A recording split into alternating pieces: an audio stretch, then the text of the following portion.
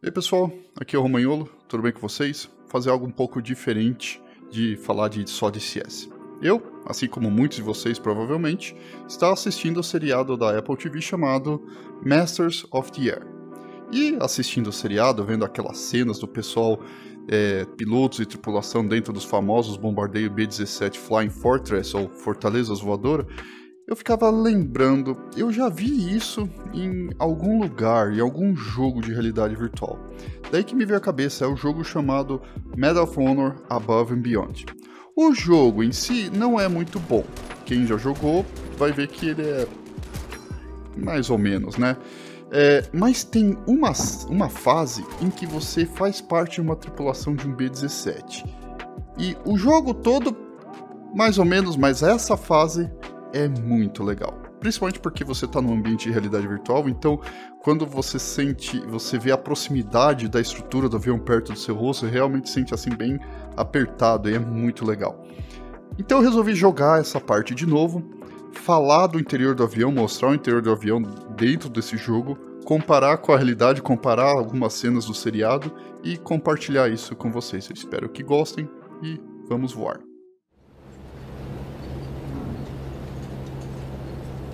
We're closing in on the factory. Enemy fighters are out there. Everyone look sharp. Lieutenant, the guys up front could use your help. Então, aqui está a missão do Medal of Honor. Eu estou usando um, um, headset de realidade virtual, o Quest 2, que eu acho que a maioria de vocês conhece. E eu estou dentro do B17.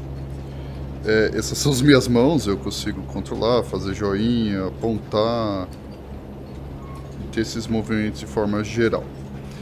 E eu vou começar a fazer um tour virtual por dentro do B17 e dentro que eu pesquisei de fotos reais de um B17, até vídeos mostrando o interior de um B17, o que eu vejo que temos aqui nesse jogo é uma versão é, estilizada, com bastante, como a gente pode dizer, é, liberdade poética o jogo em si, a ação, a missão que a gente tem que fazer aqui, só vai começar depois que eu for ali para frente. Então vou aproveitar isso e começar a conhecer o B17, mostrar para vocês o que é legal nesse jogo, porque o resto do jogo é meia boca, vamos dizer assim, né? Mas essa parte, essa fase é muito legal. Então, começar lá pelo fundo começar a andar bem devagarinho para vocês poderem vendo. Uma coisa que é muito legal, que só quem já jogou com headset e realidade virtual vai entender de estar aqui dentro, é a sensação de escala. Eu tenho a impressão que é muito mais uh, apertado na vida real. Aqui está bem espaçoso até. Mas a sensação, por exemplo, de vir lá do fundo, andar por essa plataforma e eu ter que baixar minha cabeça para não bater nas vigas aqui da estrutura do avião, não tem igual. Né? Se vocês tiverem a oportunidade de fazer isso, experimentar num, num headset na vida real, vocês vão perceber isso. Vamos dar licença aqui. Será que eu consigo pular? Não, é restrição do próprio jogo. Que a gente consegue ver o Gunner lá no fundo, o Tail Gunner, e aqui a gente vê essa estrutura gigante que é o Tail Gear. Lá no seriado a gente vê em momentos de pouso ou decolagem o pessoal que está aqui atrás fala: ah, levantou, baixou o Tail Gear, que é a roda de trás de um B-17. Check the landing gear. Bring it down. Roger. Left coming down. Tail down. Temos os gunners laterais, os operadores de metralhadoras do dorso da aeronave. Já vê que tem algumas cápsulas no chão, as pontos .50 aí muito legais. Vamos agora a ball gunner, que é o que fica na barriga do avião. E tem essa coisa aqui em cima que eu não sei o que, que é. Assustador. A gente vê que é é grande, sabe? Isso que é legal de realidade virtual. Quem estiver assistindo não tem essa sensação, mas experimentar um negócio de realidade virtual você percebe quão grande é. Então, como eu disse, para eu poder ir lá para frente, eu preciso abaixar a cabeça e isso é uma sensação muito legal. O operador de rádio, tá aí o rádiozinho da época. cartas de informação, mapa. Tá com a mão aí escutando. Uma coisa que é estranha na realidade virtual é acertar a escala. Eu tenho a impressão que o cara é um pouco maior que eu. Cápsula de oxigênio. E aqui é a janela que a gente vê num dos episódios que eles precisam fazer pouso de emergência depois que o avião pou... antes do avião pousar, acho. Eles tiram isso, jogam fora, põem aqui dentro para que na hora que o avião fazer o pouso de emergência, é, quem não conseguir sair pelas laterais, saia aqui por cima. Pilot to crew, prepare for crash landing. Let's go. Let's go.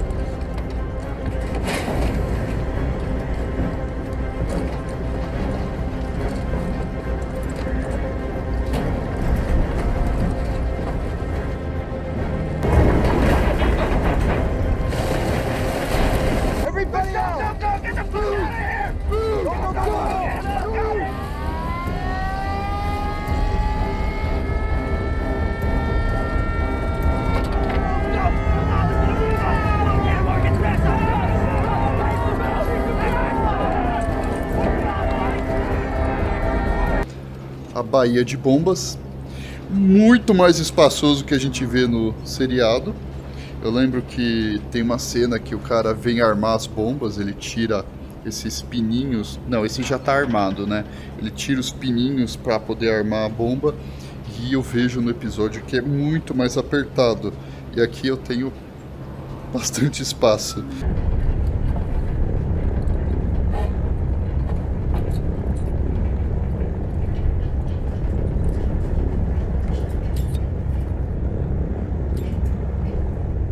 Também tem uma cena, né, que depois que solta a bomba ou pouso de emergência, quando todo mundo vai pular do avião, eles abrem a baía de bomba, jogam as bombas fora, descarta e eles pulam por aqui.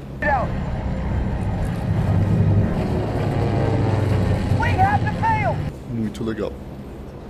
Ah, o gunner da superfície, né, do- da parte de cima do avião. Muito legal os detalhes. O que, que é isso aqui? É salva-vida? Não, oxigênio. Oxigênio. É, tem até uma cena no, do seriado que um dos tiros de um avião inimigo acerta uma dessas. é, tan- esses tanques de combustível de oxigênio e o avião explode todo na hora. Oh, shit! They're coming straight for us! Jesus!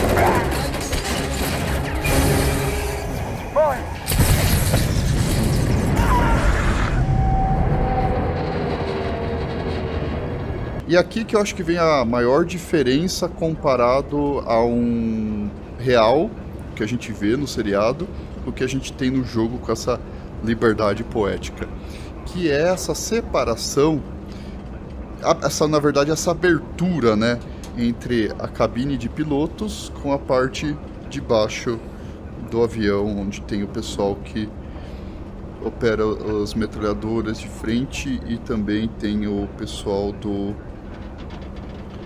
de navegação.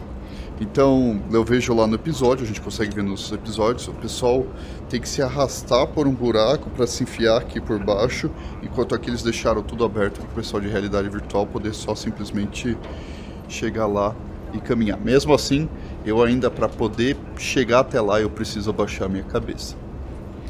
Aqui vem a navegação. E olha só que legal o bombardeio, o operador de, de mira para soltar bomba. E tudo muito bem detalhado. O navegador a gente já deve ter um favorito no seriado, aquele cara que sempre passa mal. Uncontrollable air sickness. We have an electrical problem. We need a heading. Crosby, you there? Sorry, could you repeat that? We got a gremlin in the electrical. Give us a holding pattern while we figure this out, Cross. Roger.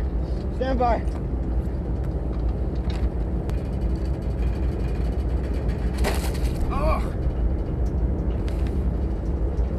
Oh, gosh darn it, Cross! I'm sorry. It's all over me. Give me a rag. I'm sorry, I'm sorry, I'm sorry. Come on. Stinks. E tá aqui tudo material de cálculos e rotas e alvos para poder passar pessoal ali em cima. E cara, é uma sensação muito legal de estar aqui.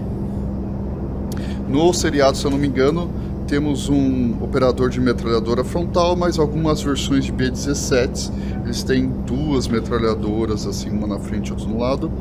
É, aqui também, de novo, tem essa liberdade poética que eu vou operar uma metralhadora frontal imaginária para eu poder é, destruir os aviões. Outra coisa que é muito legal é esse negócio de poder olhar pela janela assim e poder ver toda a outra formação dos outros B-17. Tá bem silencioso, mas imagino que seja bem barulhento na vida real. Muito legal isso, é sensacional. Bem, vamos começar a missão, vamos ver como que é. Tomara que eu jogue certinho. Na hora que eu pegar os controles da metralhadora, a missão vai começar. Fighters headed our way.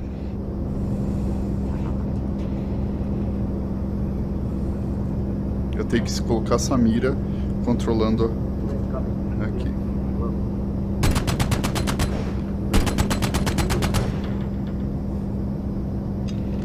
E eu tenho que fisicamente movimentar meus braços. Já peguei um. Ah, não tem que dar tanto lead na na metralhadora assim. Outros já começam a atirar. Excellent work, Lieutenant. They're hitting us from our 3 o'clock.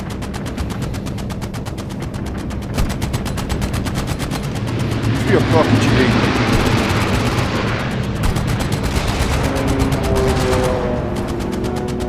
Acho que no jogo, para ajudar o pessoal que não conhece, entende de mirar na frente, você não tem que dar tanta lead, né? Mirar tanto na frente do.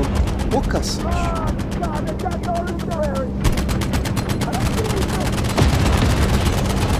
Ai meu Deus, que horror.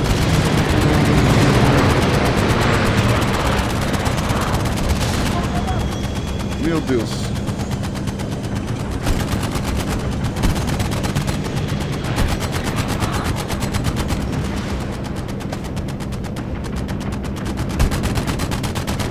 Peguei mais um, yes. E os outros metralhando lá também.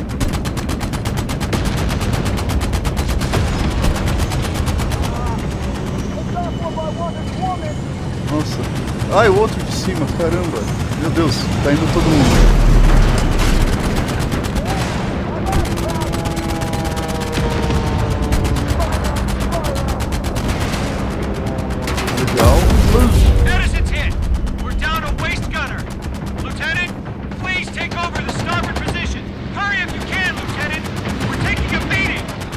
Estão falando pelo rádio pra mim que eu preciso vir aqui atrás que o cara ali do nosso dorso foi atingido. Agora é aqui que eu controlo. E é muito legal que fisicamente eu tenho que me abaixar pra poder mirar. Meu Deus.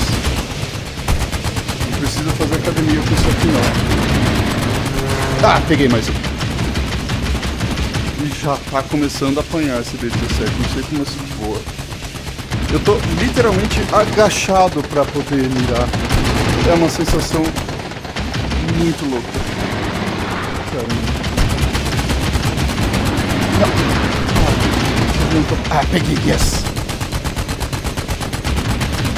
Tô mais pelo traçante do que pra- realmente pela mira.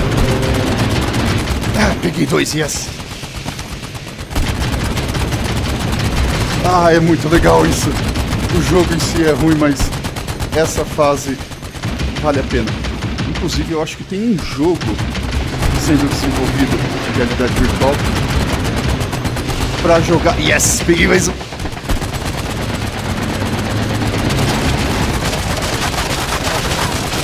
Vai, pega. Chamado The Mighty Eight. Esse jogo é justamente ser uma equipe de, de 17. Yes.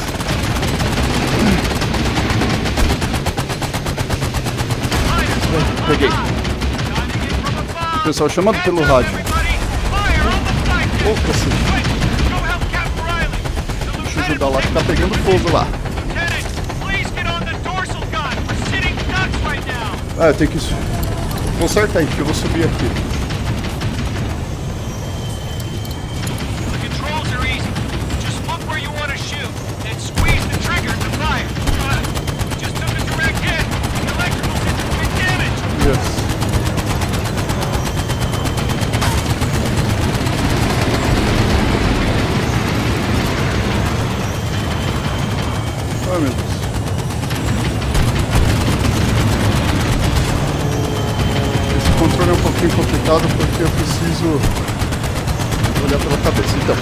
Estava tentando falar.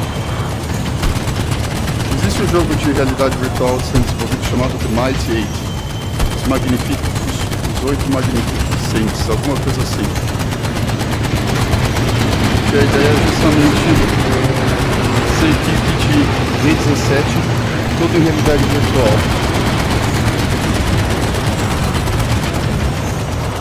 Promete esse jogo, porque se for muito próximo ou já melhor que esse,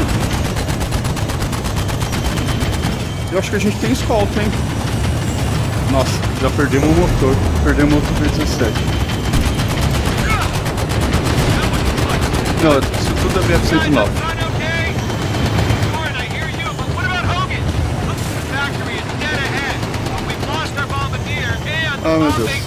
Gordon,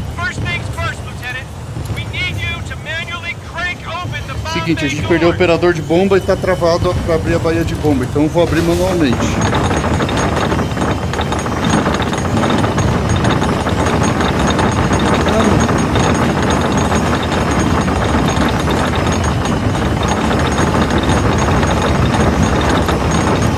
Baía de bomba aberta.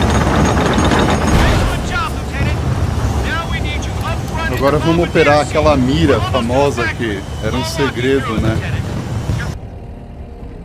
There was only one reason the Americans could even attempt something as difficult and dangerous as precision bombing the Norden bomb site.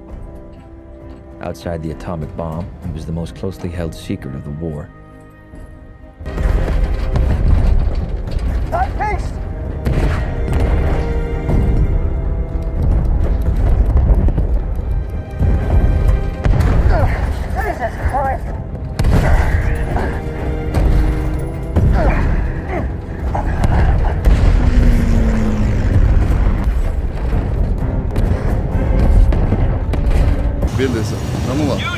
Thumbsticks to find the factory.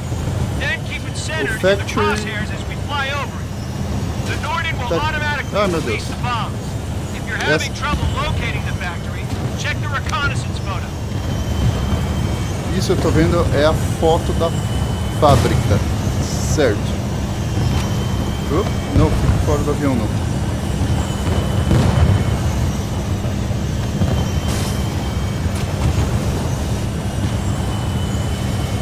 Ali a fábrica. Factory sighted. Ali. That's our target. Keep it in the crosshairs, Lieutenant. We're almost in range.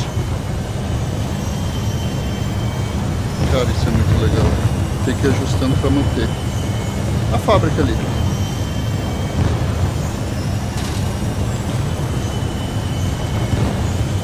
Vamos lá. Bombs away!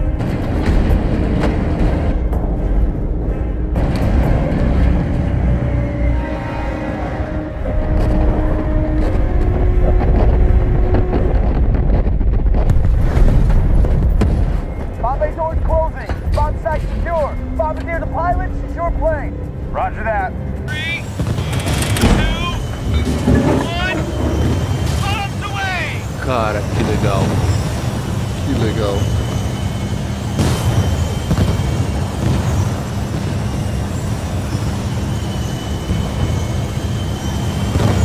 Nossa, mais placa.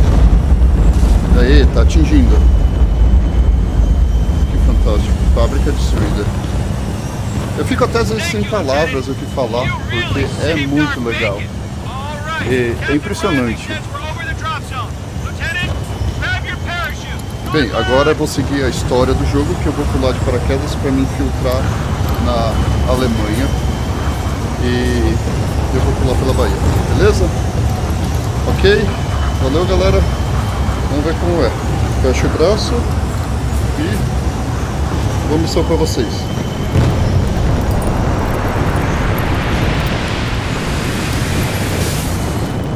Cadê meu paraquedas? Daí a história do jogo continua. A próxima missão, Back to the Ground, de volta ao solo. E eu vou tentar achar uma equipe de infiltrados. Bem, aqui eu tô pulando de paraquedas, né?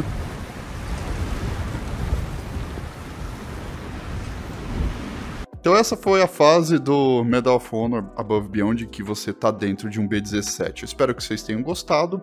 É um material um pouco diferente do que normalmente eu posto aí para vocês, mas era uma coisa que eu queria reviver e compartilhar. Não esqueçam de deixar um comentário, compartilhar com os amigos o que se gostaram desse vídeo. E então é, isso é por hoje é só. Até mais, a gente se vê aí em outro vídeo. Tchau, tchau.